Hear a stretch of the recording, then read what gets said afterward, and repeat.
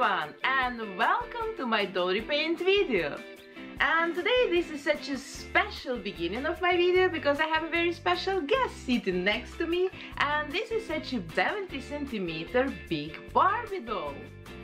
And this doll appeared to be so big that I just couldn't show her like I always do on my working table in my studio so that's why we're sitting here in my chair talking to you saying hello, say hello. She doesn't want, she's probably a little bit worried how she gonna look after the makeover because today her face is going to change completely. So what we're going to do today? Of course I'm going to repaint her face completely and by the way it's so funny she has like real lashes and they're not glued lashes I guess or, or are they? Because they look kind of rerooted I don't know we'll see it better in the close-up uh, her body I'm not going to blush because she's way too big. I will waste all my monster, uh, monster super clear, Mr. Super Clear sealant on her. Uh, that's why I'm not going to touch her body and that's why her face contour I will try to keep kind of soft to match the body without blushing the body. Uh, her hair I will try to keep for now because yeah it's original Barbie doll and she has enough hair not like these uh, fake heads that have lots of bald spots on them. They're staying there so I'm pointing them. Uh, so try to keep her hair for now but I don't know if I will be able to keep them in the end because sometimes this realistic new face style doesn't fit uh, such a little bit maybe yeah, plastic, dollish, uh, too blonde Barbie hair. So I will keep the hair for now and in the end when the face is ready we will see how it all works together. And for her clothes I have also some special plans. Uh, she's 70 centimeter big so it's, it's obviously baby size. And I'm going to go to one of our local stores and buy some real child's girl's clothes, dress or skirt or top or whatever for her and let's see where we will, we will end up. So and now let's take my acetone, scissors we don't need for now, yeah, and let's start working. So first I'm going to take her clothes off and to protect her hair. Nice underwear this time, by the way, not like the old-fashioned weird pants of the 17-inch Barbie, do you remember? Oh, I was going to take her shoes off, but it seemed they're not real, they're just painted. Oh my god, it's so weird. Yeah, look, I was right. Her lashes are really rerooted and they're kind of growing out of her eyelids. So I will have to get rid of them because they're too dollish and too thick and too messy kind also. So I first cut them very short off and then with the tweezers I put the rest of the hair out.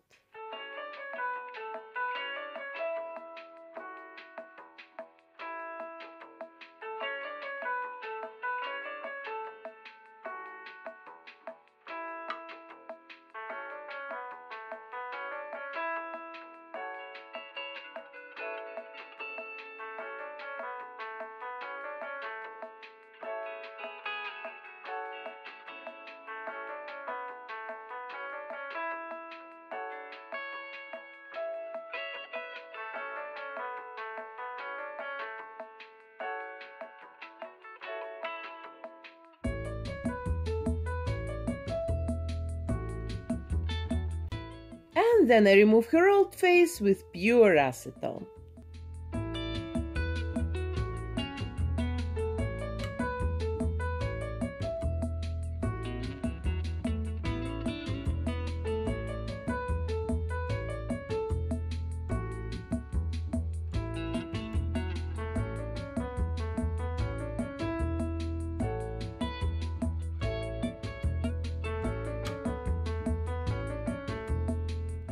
Then I spray her face with three layers of Mr. Super Clear sealant and when all the layers are dry, I take a watercolor pencil and I sketch her eyes. There are still holes on her eyelids from the old lashes, so I'm drawing the new eyes just a little bit under the old lash line, because I'm going to attach the new fuzz lashes on this place.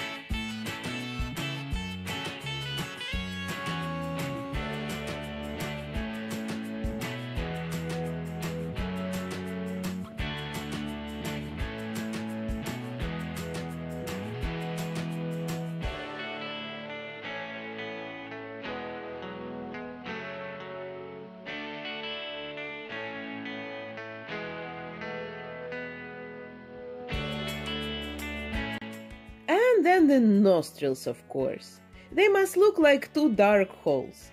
And then I take soft pastels and a piece of an eraser and I sketch the eyebrows.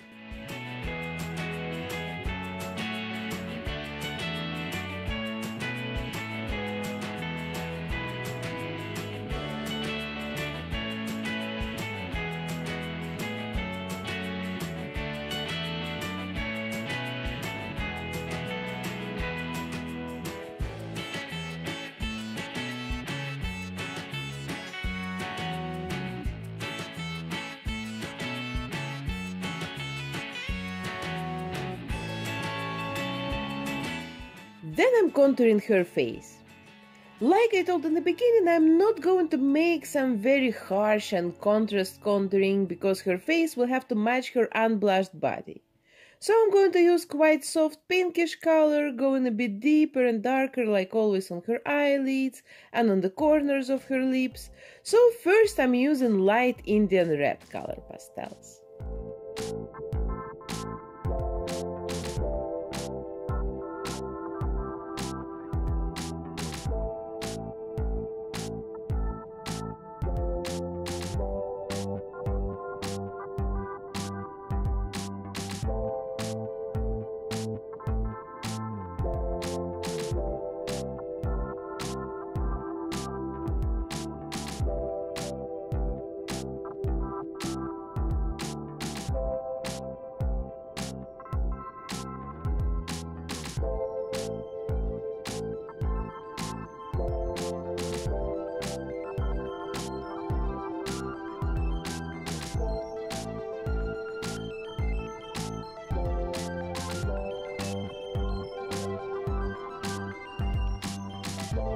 Then I'm going a bit darker with the Caput Mortuum color. And by the way, Caput Mortuum is my favorite color for working on dolls, both pencils and pastels, because it's like an ideal, natural, very dark shadow. There is a bit of brown and red and mainly some purple in it. And do you know a story of this color? Because the name Caput Mortuum literally means a dead head because some centuries ago they used to make this pigment out of mummies and it even had the second name a mummy brown. Now they're of course making it out of some iron oxide or something, otherwise artists would already have wasted all mummies in the world probably. But the intriguing name has stayed and I really love both, and the name and the color of it.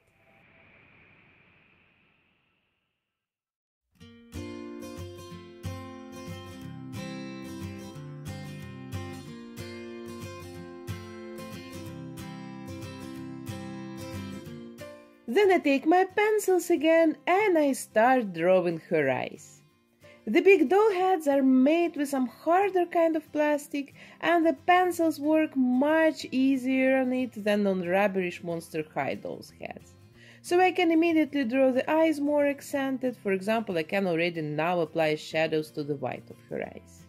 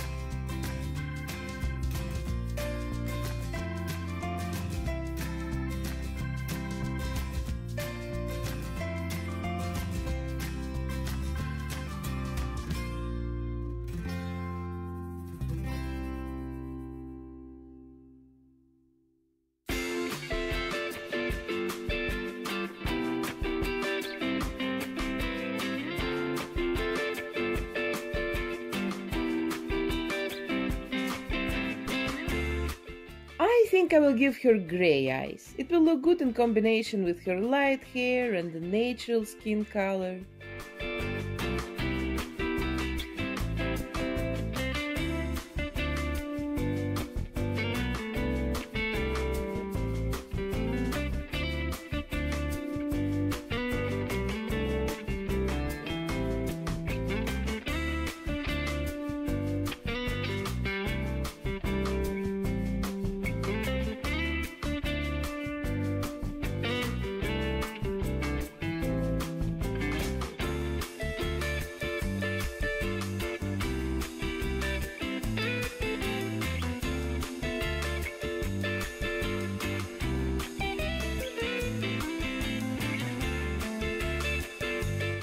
For the first layer of her eyebrows, I use a combination of a light brown and a pink pencils.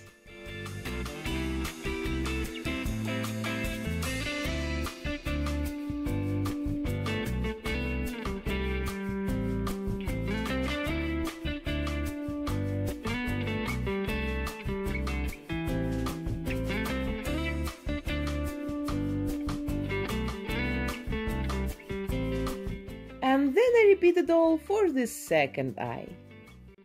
To her lips I apply a very light layer of bright pink pastels.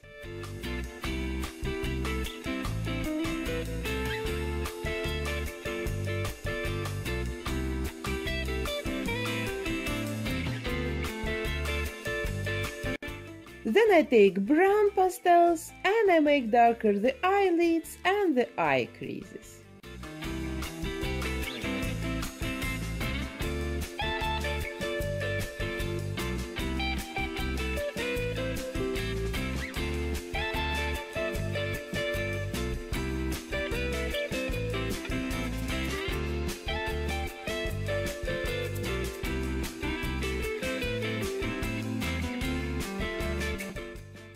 Then with a very light nude pencil, I draw the highlights around her eyes.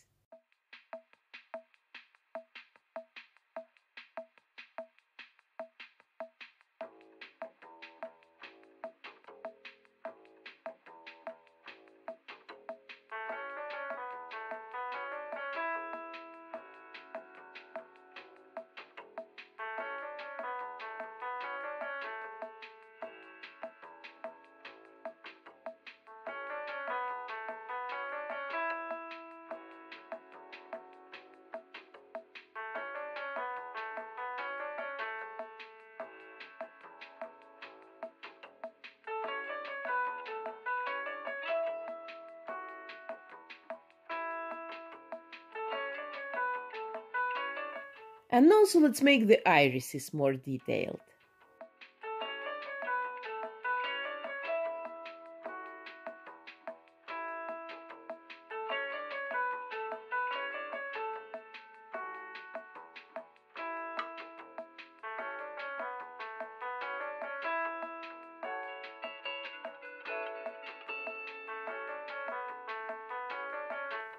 Now let's work on her mouth and I draw the highlights above her upper lip and then with a white pencil I block the smile.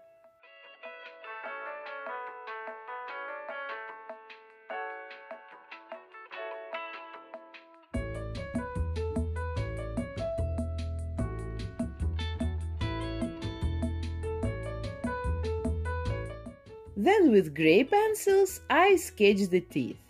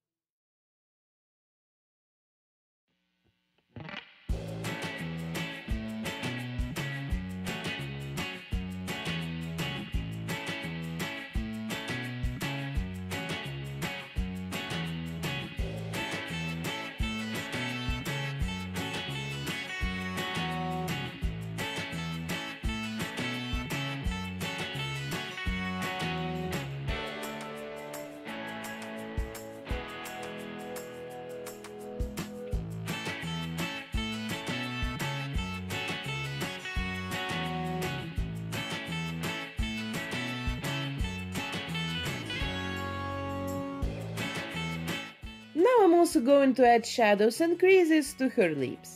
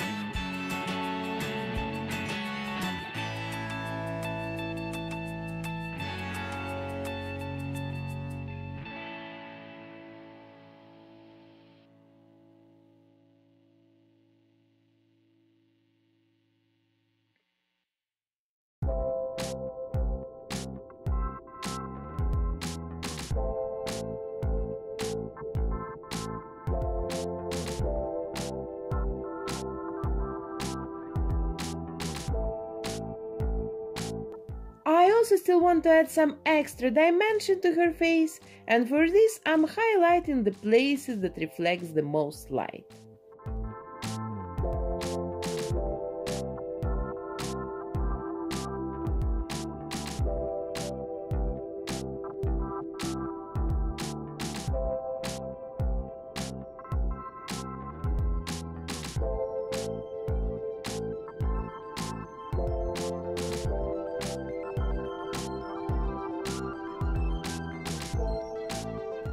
Then with the black pencil I draw the bottom eyelashes and add the eyeliner that should go right above the holes from the old lashes.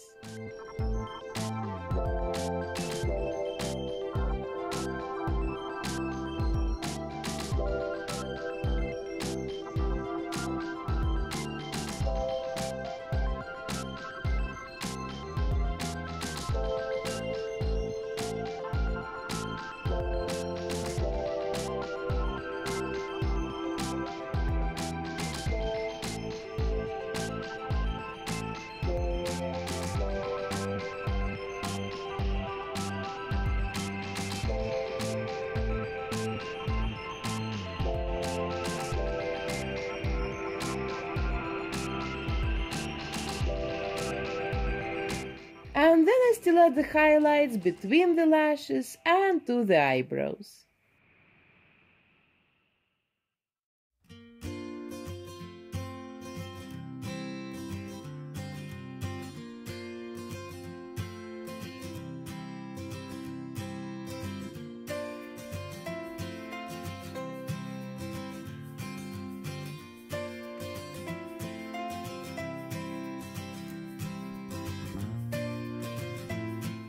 And in the end, I still want to add a touch of extra blush to her cheeks.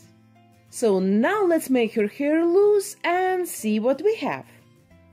You know, I still think such a curly pink hair will look much better on her. So let's cut her hair very carefully because it's a good quality one and very long so I can for sure use it to reroot some Monster High dolls later.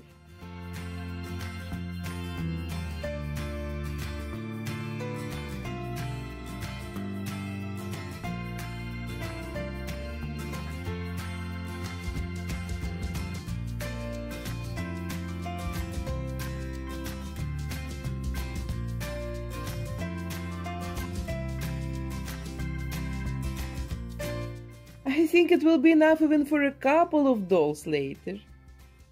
Now I want to cut the rest of her hair very short, so while my husband is at work, I'm taking his trimmer and I buzz this Barbie doll head.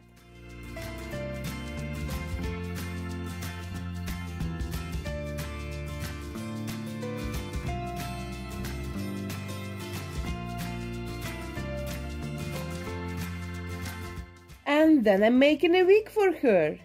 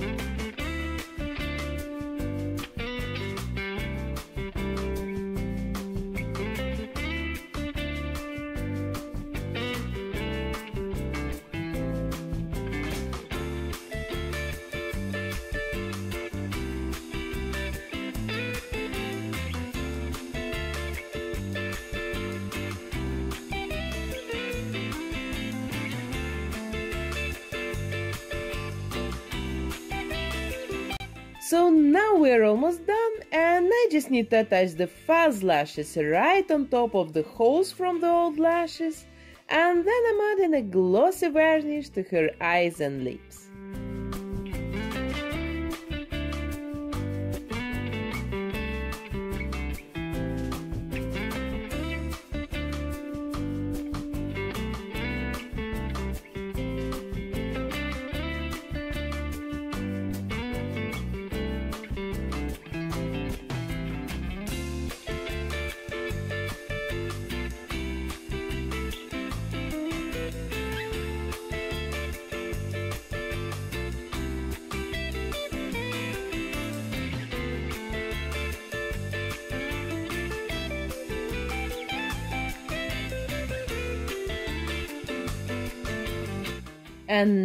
Her outfit. And as I promised you in the beginning of this video, I went to a local store and I've purchased the smallest size t-shirt and such a super pretty tiny skirt. Of course, this doll has a completely different body proportions than a baby of 70 or even 56 centimeter big, so these clothes will be so or so a little bit too wide. But oversize is the main trend nowadays, so I think we can perfectly style it all and make it work.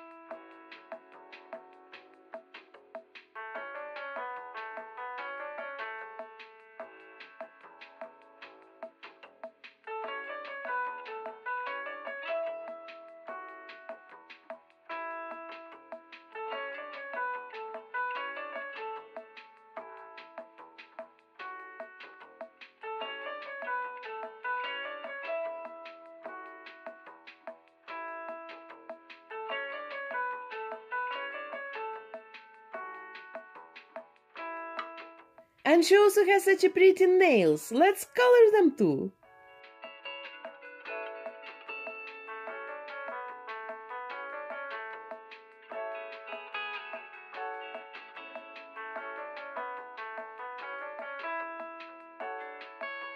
And here is my girl.